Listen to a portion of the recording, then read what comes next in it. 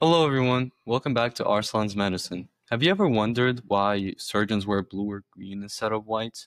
At first glance, it might seem like just a fashion choice, but there's actually fascinating science, history, and psychology behind it. Today we're going to break down why surgeons ditched white coats for scrubs in shades of blue and green, and how this small change makes a huge difference in surgery. Now, if we go back to the 19th and 20th century, surgeons didn't even wear the scrubs we recognize today. Instead, they often wore their own clothes and a butcher-style apron thrown over them. In fact, having a bloody apron was sometimes seen as a badge of honor. As antiseptic methods uh, pioneered by Joseph Lister spread and hygiene became more important, doctors began wearing white, which symbolized cleanliness and purity, much like the lab coats we still associate with science today. But there was a problem. Under the bright lights of operating rooms, white created intense glare, and when combined with the blood surgeons were staring at for hours, it caused major eye strain. By the early to mid 20th century, especially around the 40s and 60s, hospitals started shifting to green and blue surgical garments. This change wasn't random, it was designed to help surgeons see better and reduce fatigue. One of the earliest advocates for this change was a doctor in San Francisco around 1914, who suggested green was far easier on the eyes than white, and over the next few decades, that idea caught on and eventually became the standard.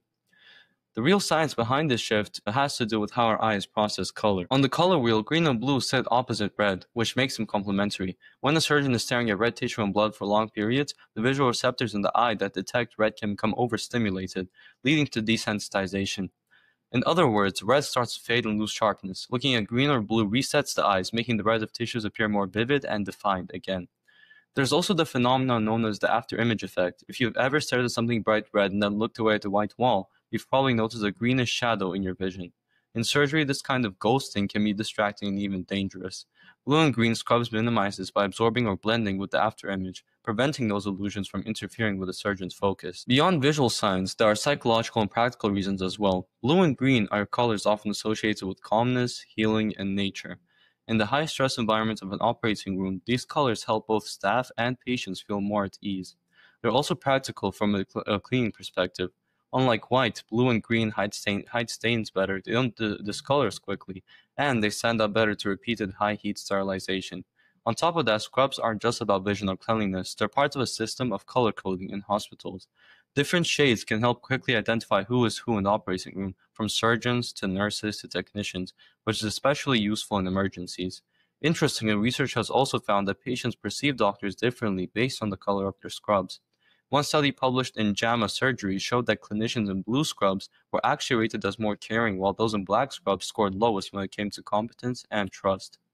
So, to recap, surgeons wear blue and green not by accident but by careful design. Historically, the profession shifted away from white to reduce glare under bright surgical lights. Scientifically, blue and green reset the eye when staring at red tissue for hours and cancel out distracting after images. Psychologically, they promote calmness and healing, and practically, they hide stains, last longer, and help organize the surgical team. What looks like a simple color choice is actually a carefully considered combination of science, psychology, and practicality, all aimed at helping surgeons do their jobs better and safer. So the next time you see a surgeon in blue or green, you'll know it's much more than just a uniform. This is a tool that helps keep patients safe and doctors sharp. If you enjoyed this video, make sure to hit the like button, subscribe for more medical insights, and let me know in the comments what medical question or myth should I tackle next. Thanks for watching Arslan's Medicine, and I'll see you in the next one.